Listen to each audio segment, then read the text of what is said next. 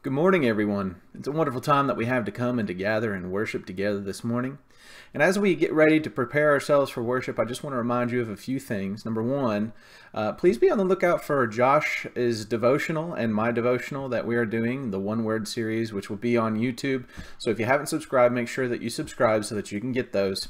Another one, I want to remind everybody about our giving, that we are asking that you mail in the giving as well. Um, if you choose to give, we know that it is a difficult time for many, and if you are not prospering, as 1 Corinthians 16 says, uh, we are to give as we prosper, we understand.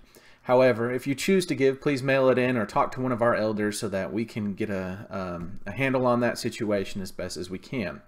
And in the same vein as that, if there's anybody who could connect to these sermons that are not, please let us know so that we can hopefully help them get connected in some form or fashion so that they can participate in this worship just as much as everybody else. We know there are a lot of people who are unable to, and uh, if you have any ideas for how we can handle that situation, please let us know to the best of our ability. We'll do what we can. We want to thank everybody for tuning in this morning, and as we begin to worship, I want to uh, let you know that Tim helped me out with the songs this week, so I hope that you enjoy hearing a familiar voice with that.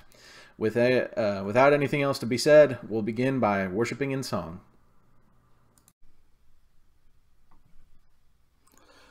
What a fellowship, what a joy divine, leaning on the everlasting arms. What a blessedness, what a peace is mine, leaning on the everlasting arms, leaning, leaning, safe and secure from all alarms, leaning, leaning, leaning on the everlasting arms.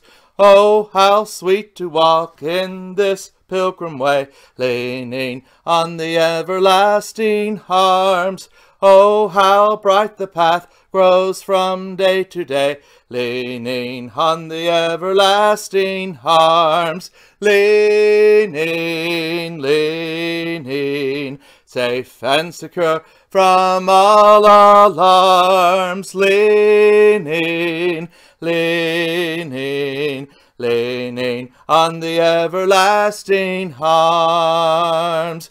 What have I to dread? What have I to fear? Leaning on the everlasting arms. I have blessed peace with my Lord so near. Leaning on the everlasting arms. Leaning, leaning, safe and secure from all alarms, leaning, leaning, leaning on the everlasting arms.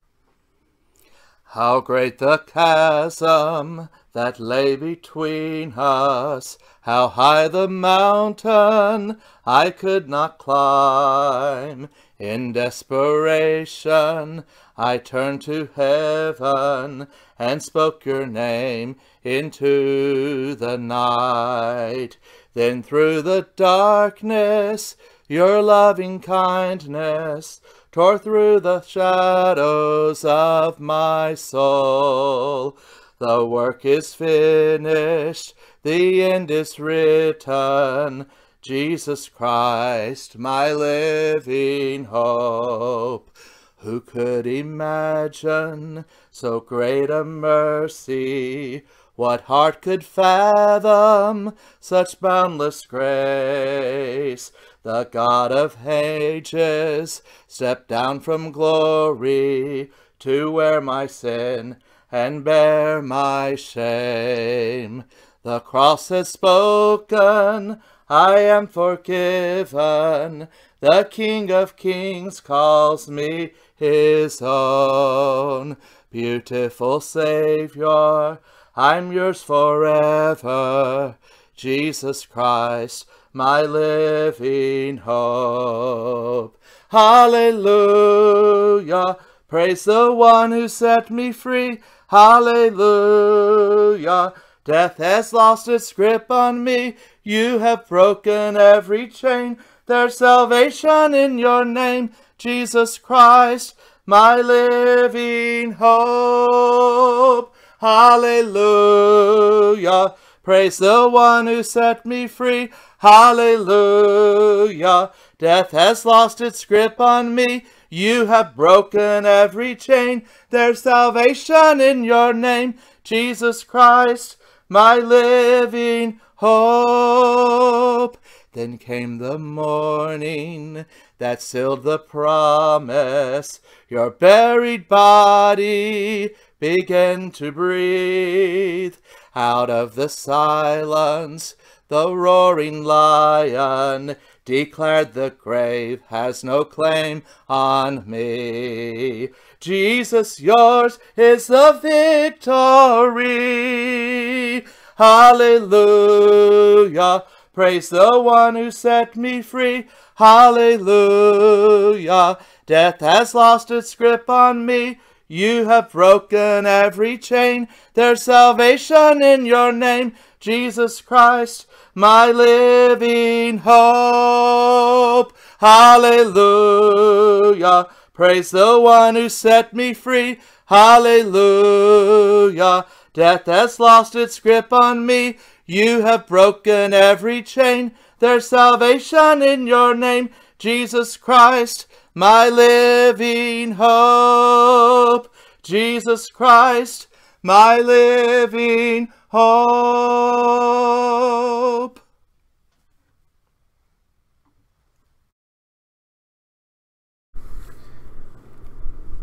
It's at this time that we have the opportunity to partake of the Lord's Supper together, and I know that this is um, always a time that we need to focus in on God. So as we pray and we think about these things, please clear your mind of the world around you and, and let's focus together as we partake of this. Let's pray together as we take thanks for the bread. Father in heaven, as we come and we see this emblem of the bread that you have commanded us to partake of, we ask, Lord, that you will clear our hearts to remember this amazing sacrifice that you made. We're thankful for the sacrifice of Jesus, that he willingly died on the cross, and this bread, which represents something so precious to us. May we be reminded of these things and understand the importance of them as we partake it of every first day of the week. In Christ's name we pray. Amen.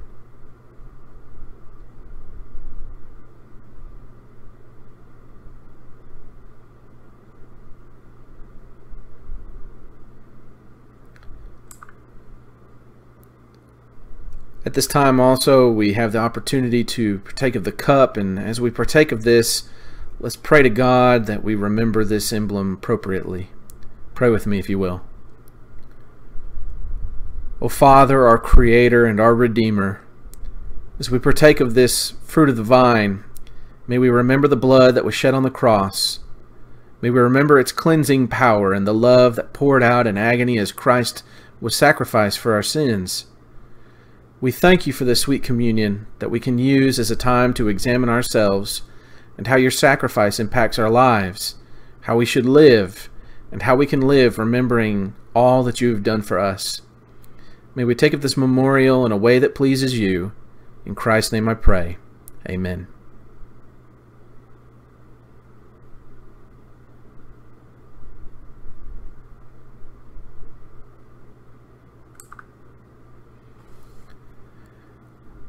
I know that we aren't giving in the traditional way, and we want to encourage you to still give if you can as you have prospered.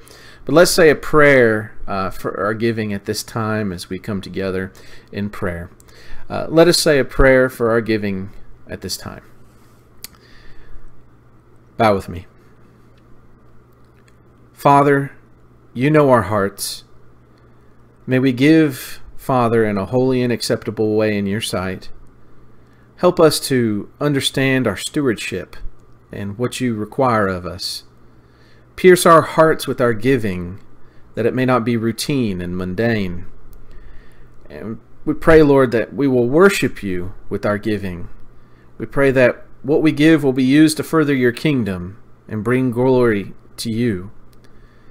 We pray for our leaders. We ask that you give them wisdom in all the decisions that they make regarding this contribution. And we thank you so much for the means that you have given us to give this. In Jesus' name I pray. Amen.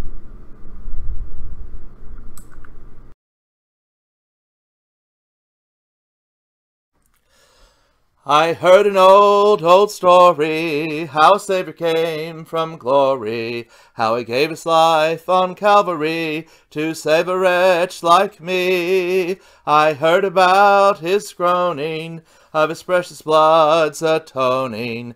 Then I repented of my sins and won the victory. Oh, victory in Jesus, my Saviour forever. He sought me and bought me with his redeeming blood. He loved me ere I knew him, and all my love is due him. He plunged me to victory beneath the cleansing flood. I heard about his healing, of his cleansing power revealing, how he made the lame to walk again, and caused the blind to see. And then I cried, Dear Jesus, come and heal my broken spirit. And somehow Jesus came and brought to me the victory. Oh, victory in Jesus, my Saviour forever. He sought me and bought me with his redeeming blood. He loved me ere I knew him, and all my love is to him. He plunged me to victory beneath the cleansing flood. And I heard about a mansion he has built for me in glory. And I heard about the streets of gold beyond the crystal sea, about the angels singing and the old redemption story. And some sweet day I'll sing up there the song of victory.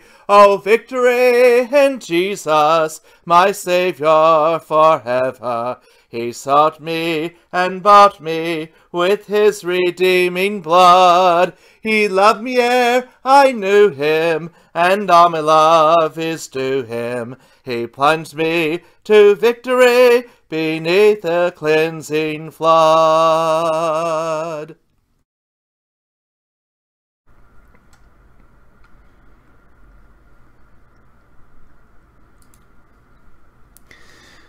So here we are.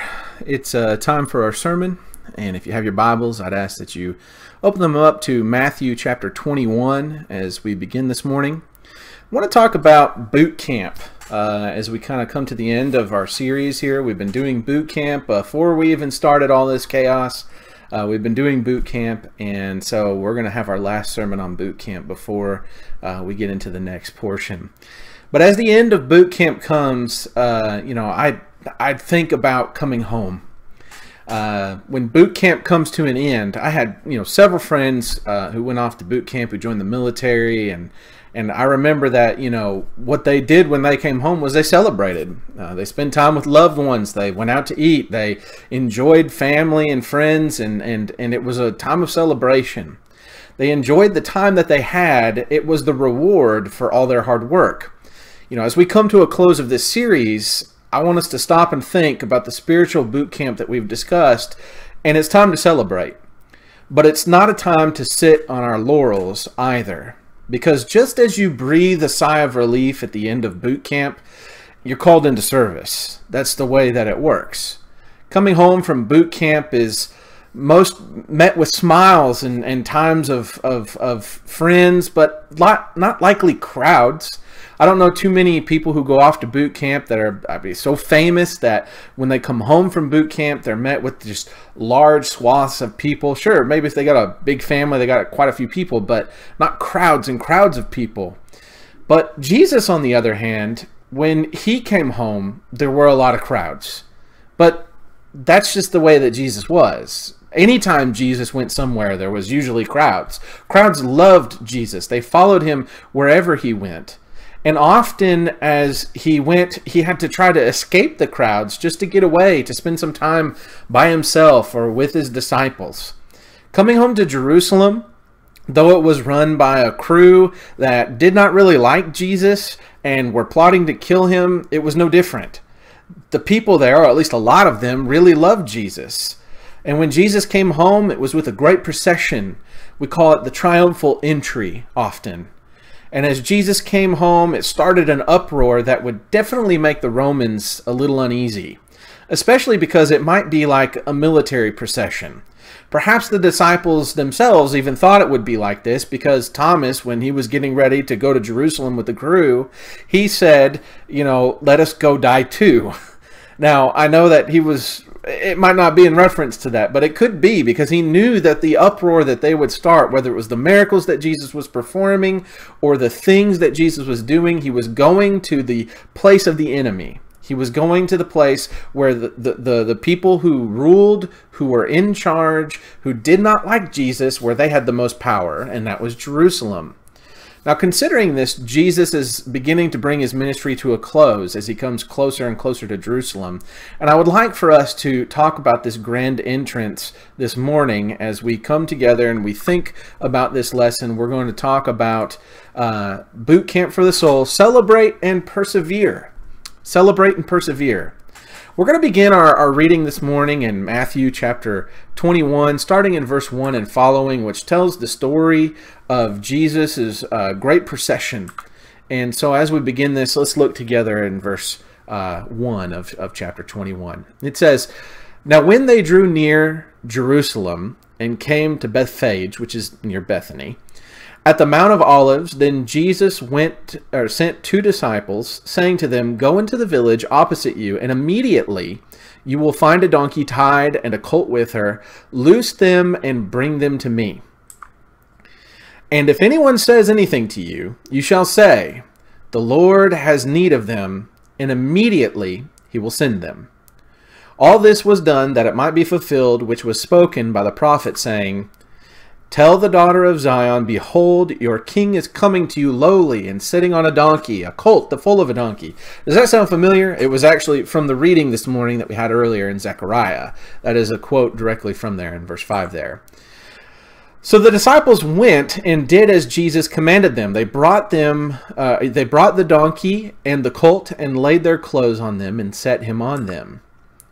And very great multitudes spread out their clothes on the road. Others cut down branches from the trees and spread them on the road. And when the multitudes who went up before and those who followed cried out, saying, Hosanna, the son of David. Now, let's break that down very briefly. Hosanna, the son of David.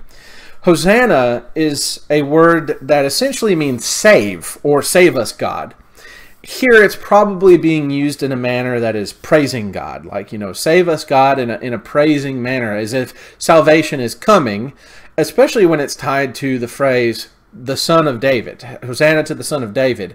You know, save us, God, to the Son of David. The Son of David is a, a messianic term that they're using here for Jesus. This was known by many rabbis at the time in the earlier writings that this was refer in reference to the Messiah. And so as it is used here, um, they are referring to Jesus as the Messiah, number one, which is important. And number two, they are saying that through him, essentially, salvation is coming. Now, their version of salvation might not be what we know it as as Christians because many people expected Jesus to become a king and actually rule in Jerusalem. Now, Jesus is a king. He's the humble king coming in on this donkey, but I mean, he's not the king that they expected, and they would obviously see that. In spite of it all, people are still, you know, praising him, and they are still having this wonderful scene where everybody is shouting and, and they are singing and they are doing these things. So it says, Hosanna to the Son of David, as the verse continues. Blessed is he who comes in the name of the Lord. Hosanna in the highest. And it reads in verse 10 and when he had come into Jerusalem, all the city was moved, saying, Who is this? That way that the city is moved is, is not necessarily a pleasant one. It just talks about how they're stirred up. They are excited, perhaps maybe some uh, at the thrill of, of the Messiah, and some not really liking Jesus. But many people are asking the question, Who is this?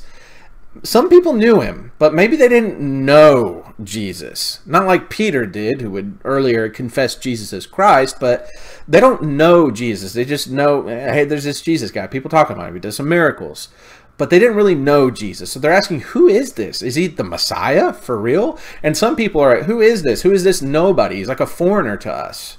Verse 11 says, So the multitude said, This is Jesus, the prophet of Nazareth or from Nazareth of Galilee. So they recognize him as a prophet.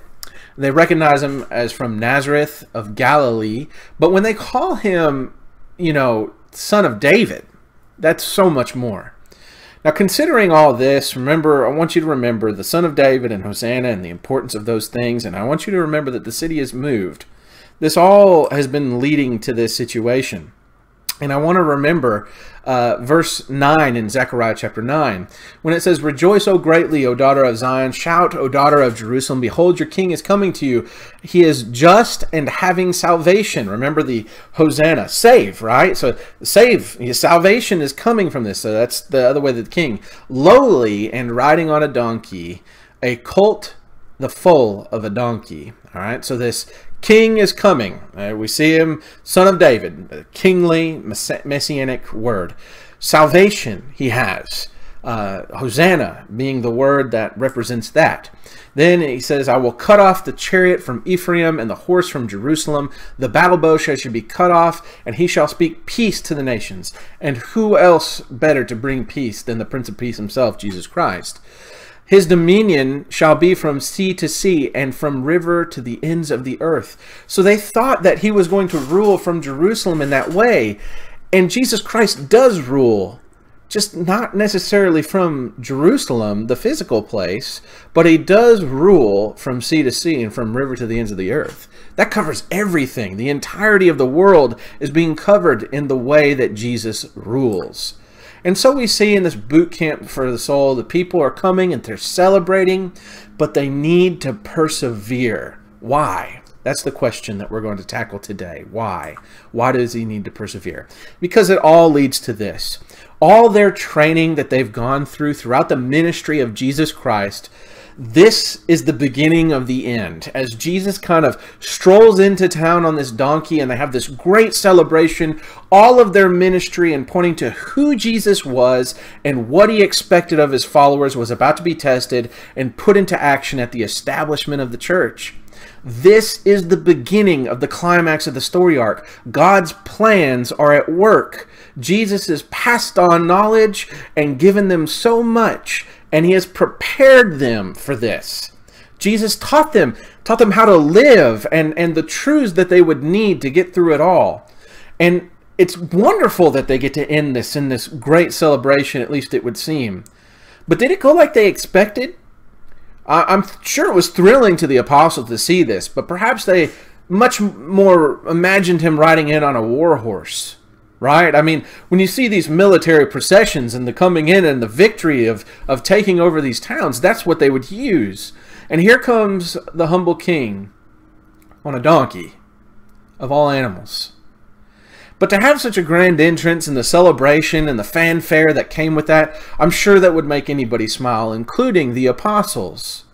Hearing the words Hosanna and Son of David surely brought them excitement what these mean in in some, actually quite a few, I'm, I'm going to assume, knew is that they saw Jesus as Messiah and they saw him as salvation coming to save them. Boot camp was over. It was the time of celebration, but it wouldn't necessarily be long lasting because the time of trial was here for these people. Dark times were coming for them. And Jesus prepared this for them. But the question is, you know, were they listening? You know, with all the chaos that's going on at this time and, and all the, the, the, the weirdness of the coronavirus pandemic, I think that we've learned a few things. Number one, I, I think that we've learned that some people didn't do their job beforehand.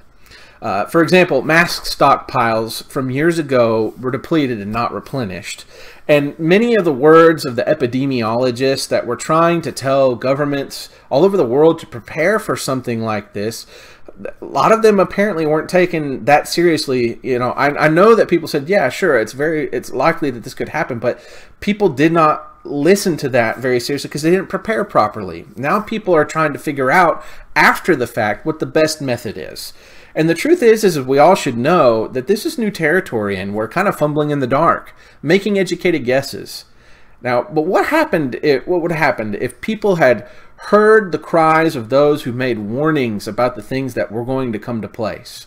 Nobody could have predicted it exactly, but there were people who were saying, this type of thing is coming and we need to prepare.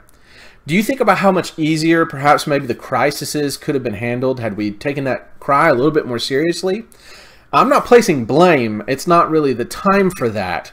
But to consider what it would be to have stockpiles ready for an event such as this, how much different a situation we might be in, how much different the news might be as well. For business, to properly prepare for this as well. If people in businesses, small and great alike, had prepared for stuff like this, you think about how much easier it would be for them during this difficult time. Now consider this. The next time that something like this happens, how different will it be? Uh, because we've had time to think about it. Radically different, I'm sure. Because people will be more prepared. People will remember the mistakes that were made during this time and the shortcomings that were there, and hopefully will learn from it. Jesus amply prepared his followers for the things that were about to take place. And had they listened, you know, hopefully, they would have probably been maybe a more emotionally prepared for a lot of what was going on because Jesus told them pretty bluntly we go back and we look at some of the prophecies that Christ made on his death that was leading up to this. There's kind of three big ones that the Bible really talks about, especially in the book of Matthew. Now, several of these are listed and, throughout the scripture, but I'm going to focus on these three particular in the book of Matthew since we're in the book of Matthew. And, and what we see is one of the earlier accounts of prophecies that Jesus gives after the impactful moment of Peter actually, you know, confessing Jesus as the Christ. Peter, in a moment of clarity that he's dealing with that, Jesus actually teaches his disciples after that moment the important truths of what was going to come. And listen to what Jesus says here in this moment. What he actually says here is, is, it says, from that time, this is in Matthew 16, verse 21 and following, from that time, the time after, you know, they'd learned these things about Jesus because of what Jesus told them after Peter's confession, from that time, Jesus began to show his disciples that he must go to Jerusalem and suffer many things from the elders and chief priests and scribes and be killed and raised the third day. Wow, right? I mean, like, from that time, he began to tell them, pretty clearly it seems, what was going to happen. And it continues, it says, Then Peter took him aside from the beginning to rebuke him, saying, Far be it from you, Lord, that this shall not this shall not happen to you. He, he's going to try to prevent it. That's the type of man that Peter was. He loved the Lord, and he wanted to give his life, perhaps even to, if it would, to, to protect Jesus. But he turned, Jesus, and said to Peter, Get behind me, Satan. You are an offense to me, for you are not mindful of the things of God, but the things of men. In other words, he's only thinking about himself. He's only thinking about the human aspect of these things, the worldly aspect of these things, not about the will of God that must be accomplished. And so he is not going to allow this to happen. And then Jesus said to his disciples, If anyone desires to come after me, let him deny himself, take up his cross, and follow me. For whoever desires to save his life will lose it, but whoever loses his life for my sake will find it. For what profit is it to a man if he gains the whole world and loses his own soul? Or what will a man give in exchange for his soul? For the Son of Man will come into the glory of his Father and angels, and then he will reward each according to his works. Assuredly, I say to you, there are some standing here who shall not taste death till they see the Son of Man coming in his kingdom. That's an important, you know, verse there. And if you think about what had happened there, it makes sense that Jesus taught them because they needed to know this. They needed to be ready. It wasn't a secret to them. You know, I, I would refer you back to the beginning of that. Like we said, the, from the time that Jesus began to sh- as, as they discovered these things is from that time forward jesus began to reveal these things to his disciples. Here's another example in matthew 17 just a, a, a chapter later. Starting in verse 22 it says now when they were staying in the inn of galilee jesus said to them the son of man is about to be betrayed into the hands of men and they will kill him and the third day he will be raised up and they were exceedingly sorrowful. So you see they even began to mourn him already they began to understand this situation already. And it would make sense that Jesus told them even about this betrayal ahead of time. It just further strengthens who Jesus really was. It further strengthens his deity that he is, you know, he knows the future, he knows what must happen. And so here as he talks about betrayal, death, and, and resurrection, I mean, look at verse 23. And he will be raised up, it says. And, and, that's an important aspect. So let's look at the final example. This is in Matthew 20, just a, a, couple chapters later. Actually, right before our reading today, it says, Now Jesus, going up to Jerusalem, took the twelve disciples aside the, on the road again. So he takes them aside and said to them, Behold, we are going up to Jerusalem. All right, he's preparing them for what we just read happened at the very beginning of our lesson. Behold, we are going up to Jerusalem, and the Son of Man will be betrayed to the chief priests and the scribes, and they will condemn him to death and deliver him to the Gentiles to mock and scourge and to crucify, and on the third day he will rise again. I don't know how much more plain Jesus can make it, really, when you think about this. In this final example, we see him coming right before this morning's text and saying, I mean, pretty point blank, what's going to happen? He's going to be betrayed. He's going to be handed over to the chief priests and the Pharisees and the scribes, and they're going to deliver him to the Gentiles to mock and to scourge and to crucify him, and he's going to die, but on the third day, he's going to rise again. That is exactly what's going to happen. And I mean, I get that maybe they didn't quite understand everything. It's easy for me to look back and to say, you know, how can you not get this? But it seems to me plain the plan that Jesus told them to plan that we're going. And and there is this celebration but dark times are going to come. And when those dark times came what happened? Jesus was crucified and everybody deserted him. Nobody stayed with him. Nobody stood up for Jesus. Nobody spoke out. The crowd did not have his side, even though when he enters into the city, it would seem that the crowds love Jesus. Christ was betrayed, as he said, but more than that, Christ was abandoned, and there was nothing they could do to stop it, but how many left him? And even Peter, who said he would not let Christ die, denied Christ. So, one of our lessons that we want to learn from this is not to repeat the mistakes of the past. You know, Christ had prepared those disciples, and as he did them, he also repairs us today. And he continues to do through so through the word of God and the work of the Spirit in our lives. Just like the disciples, we've received a word from the Lord. In fact, the scriptures have in their entirety speak so much to our life and how we live and what we will experience and what God promises. And the scriptures are pretty clear about the workings of the world. It's no question that God blesses us and He does so greatly, and we have so much of a hope to look forward to. But when talking about persecution or trial or tribulation, it's not a matter of if, but more when. And Christ even says so. A, a, simple reading of the Beatitudes will show you, in Christ's wonderful sermon there, what we should expect with trial. We are blessed, though, even if we go through trial, Christ says. So in our joy, we celebrate, and often, and we have been blessed many times with great prosperity and easy living. Even so, will we then repeat the mistakes of those before us? When we come to celebration and enjoy it, but fall when trial comes? You know, we are blessed always, and we should always praise God, no matter whether it seems to be a bad time or a good time. You know, blessed during times of plenty and during times of want. I'm thinking reminded of Philippians in chapter 4 specifically, and Paul talking about the generosity of, of that church.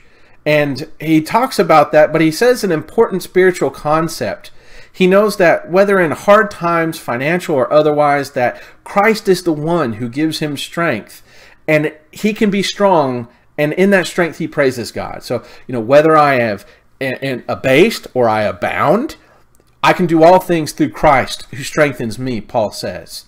And we need to understand that that should be the same for us. Though it's not always just about financial, it may be the otherwise. It may be we go through desperate times and dark times. We cannot repeat the mistakes of those who abandoned Christ during his time of need, that they were there for the celebration, but the crowds cheered against him during his time of betrayal. So we need to make sure that we take that opportunity not to uh, dis, you know, to to uh, repeat the mistakes, but also to share in the victories. You know, despite all this rhetoric and, and the difficulty, we need to be able to maintain our joy. I want to emphasize this last point here as we come to it. We praise God no matter what, but this does not mean that we're always so serious that that we cannot smile.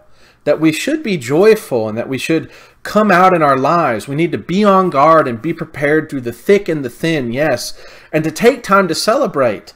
I mean, the triumphal entry really was triumphal. It was Christ coming in. Salvation was coming in. The King was coming in. The Messiah, the Son of David, was coming in. It is something to be celebrated. But we need to take time to celebrate.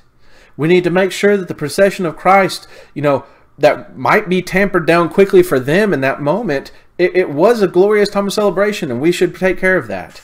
You know, the in another account of this in one of the other gospels, the Pharisees say, you know, you should tell these people to be quiet, and Christ rebukes them, saying essentially, you know, even if the crowd were quiet, the rocks would cry out. That's how joyful of a time it was as he comes and he enters in. When we are living each day for Christ, there will be times of sorrow, but remember to live also in those moments of joy that they cannot be held and pent up that we had a, a, a, beautiful day just the other day. I, I, don't know, you know, exactly how today is going to turn out on Sunday, but on Thursday, for example, when I was finishing writing my lesson up, the birds were singing, the sky was blue, and nature was bursting forth in what I expect of spring. And when I got to the office that day, I made some phone calls. I could have done it inside. I could have just walked inside and been in the building. And, you know, I usually stand there next to the door because I don't get good signal. But, you know, I could have done it inside, but I stayed outside the building. I even took a walk around as I talked to people on the phone because it was so beautiful. And I didn't want to let it go to waste after so much gloom of the rain. I had to take time to enjoy God's creation. And we need to share in the victory of Christ and to take time uh, to celebrate these victories, these triumphs, these times where Christ bursts forth into the world and we take time to celebrate and enjoy the blessings of God. I know that times may seem dark, but there is a lot of good that is in the world right now. And remember to share, especially today, this first day of the week, the time that we get to come and to celebrate God and to praise Him. Make sure that you celebrate the joy of the Lord. Because no matter what happens to us on this earth, what do we have to fear? We have to be vigilant against temptation, but if we have learned from the people's mistakes of the past, we can live full lives now and celebrate in times of trial and in times of great celebration and plenty. This morning, I know that maybe something I've said here today has pricked your heart. And if there is something that you need to do to make that right with God, give me a call, give one of the elders a call, give somebody a call, and make it right today. I hope that this lesson has been beneficial to you, and I hope that it will bless you throughout this week. Think about the times that are down and understand that even in spite of those times, that we can share in the victories of the Lord. No matter what trials we have, we may have that that that we can face it forward and and look forward to the glory of God and the joy that we get to live with Him forever. This time, I'd ask that you please close with me in a word of prayer as we close out this series. Bow with me, please. Our Father in heaven, Lord, holy and hallowed be your name. We're so thankful, Lord, for this time that we've had to study a portion of your word and to learn about the entrance of Christ into Jerusalem and, and how people, perhaps maybe even though they didn't understand it, they were saying things that were so true, Lord. We're sorrowful at the betrayal of our Lord. We're sorrowful that he had to die on the cross because of our sins. But Lord, we're so thankful and so joyful for the fact that he did die and showed his love for us, that yet that while we were still sinners, he died for us so that we can have eternal life, that we can have joy with you. Please bless us always and help us to remember this sacrifice. Help us to live lives worthy of it. We ask this all through your Son's blessed and holy name, Jesus Christ. Amen.